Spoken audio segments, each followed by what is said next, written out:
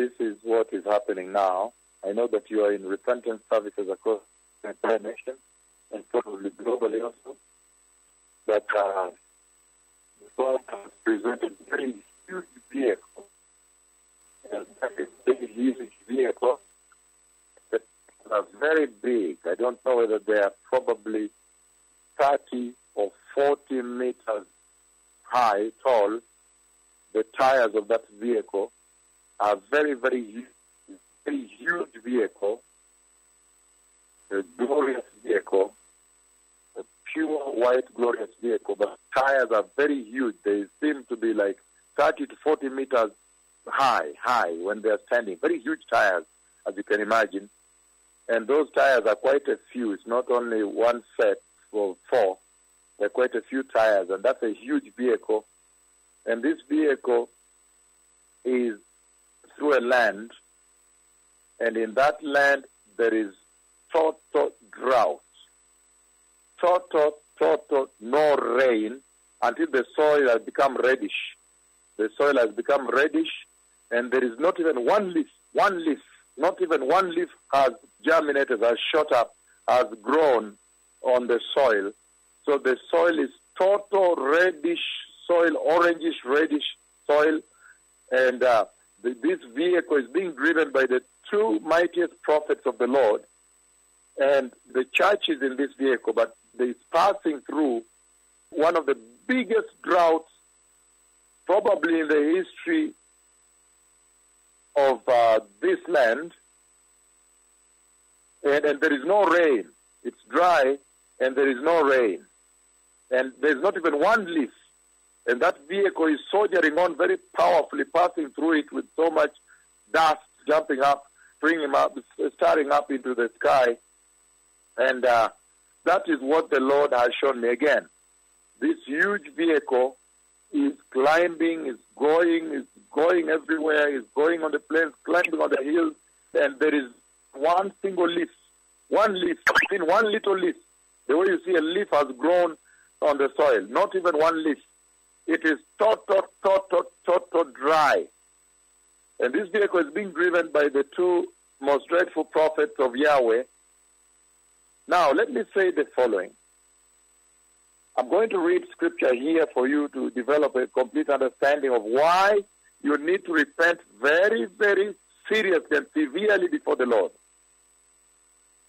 Now, the greatest fear that the two servants of the Lord who have been walking in this land, you see them in the meeting, you have recorded them severally. So all of you have had the opportunity to see the two prophets of the Lord in this land and in other countries where they've been revealed.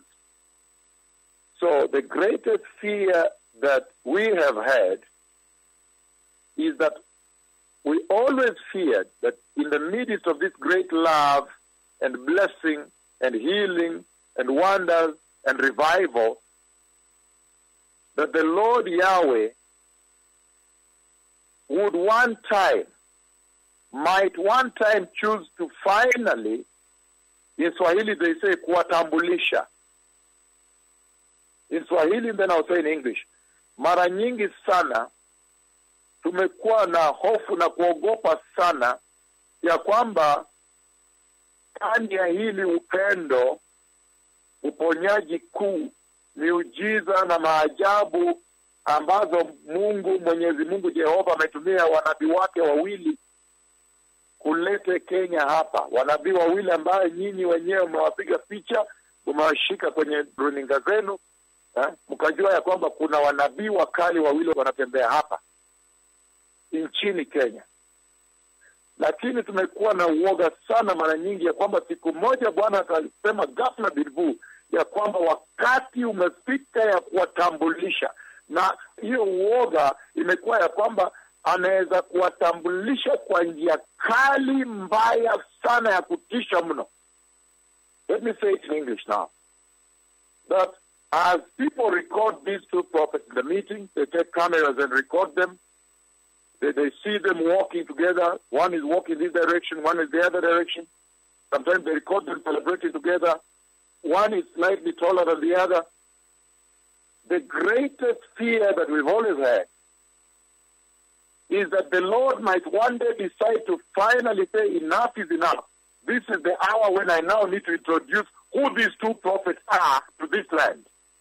And in a most fearful way, we have always feared that he can, he can decide to introduce them in a very dreadful way, the most dreadful way, in the severest way ever, that everybody may fear them forever. That there may be no blackmail again, no slander, no malice, no lies written against them in the press. That is the greatest fear that these two servants of the Lord have always had. They have always known that their mission is their mission is very, very fierce. Their mission is to encounter the Antichrist and the false prophet and combat them. Combat them at the time when the church has been taken over. So that mission calls for warriors. The warriors that has not yet been revealed. Because for now, all you are seeing is the goodness, the people moving, the blind seeing, the deaf hearing, the mute speaking. But human flesh, the way we know human flesh, there can be complacency and familiarity.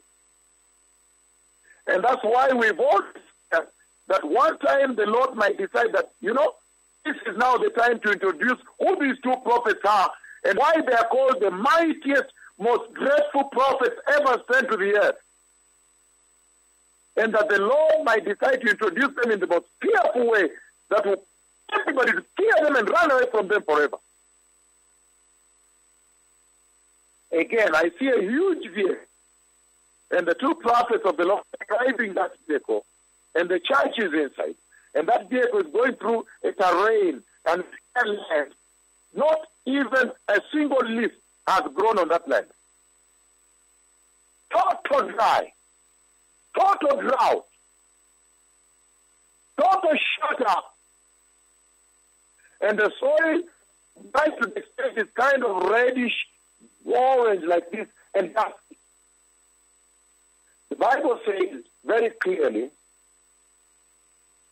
it says here in the book of Jeremiah, chapter 18, and also Second Chronicles chapter 7, I'm reading from verse 13. Second Chronicles 7 from 13, he says, When I shut up the heavens so that there is no rain, or command locusts to devour the land, or send a plague among my people. If my people who are called by my name will humble themselves, he does not say will begin to blackmail the two prophets, Father. He said, will humble themselves, not blackmail God, but humble themselves and pray and seek my faith and turn from their wicked ways, meaning repentance. Repent. Then I will hear from heaven and I'll forgive their sins and heal their land. Again, I repeat, I read Second Chronicles 7, 13 to 14. 13 and 14. When I shut up the heaven so that there is no rain, or command locusts to devour the land, or send a plague among my people, and if my people who are called by my name will humble themselves, not blackmail God, but humble themselves and pray and seek my faith and turn from their wicked ways.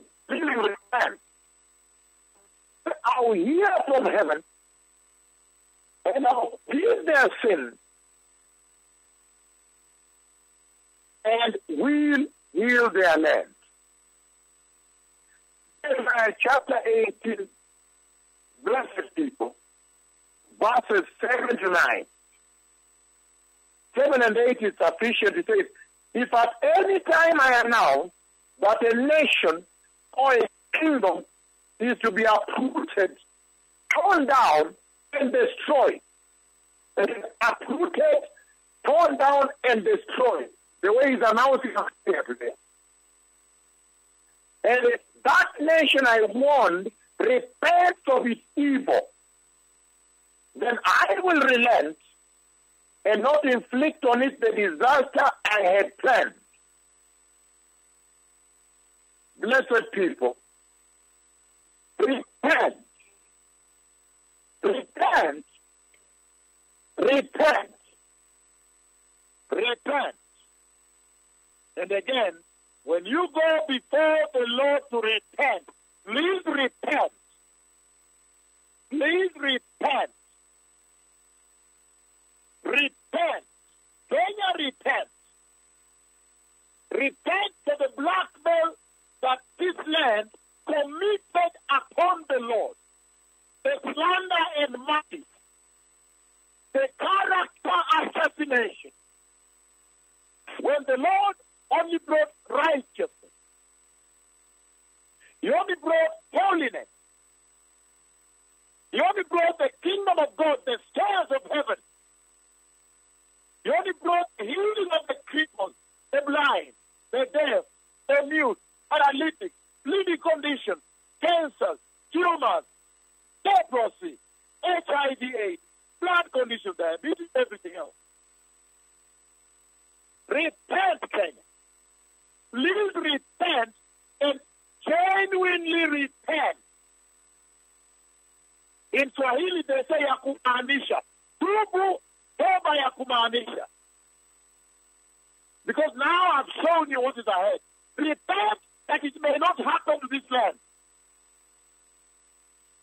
The Lord might introduce these prophets to you in the most dreadful and the most fearful manner that will cause all of you to run away from them forever. Repent. The Messiah is coming. Repent. I have seen the Messiah coming. Please repent that all of you may not perish over this land. Repent and return to Jesus. Be born again and be holy.